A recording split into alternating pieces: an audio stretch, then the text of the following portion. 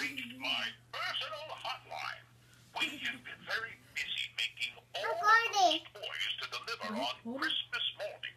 And I want you to know that your family loves you very much. And so do I. So be good. And don't forget to always listen to your parents. When you hear the tone, please leave me your Christmas gift wishes Oh. and holiday cheer. So when it beeps, you guys gotta tell him what you I want. Know been naughty and nice. Merry Christmas, and I'll see you soon. Okay, so Gordy goes first. Gordy, when it beeps, you tell him what you want. Tell him. Santa Claus? Tell him. Just leave a message. Tell him what you want. Thomas Choo Choo Train. Thomas Choo Choo Train. Okay, now it's Bella's turn. I want a um scooter and a door doll. Okay.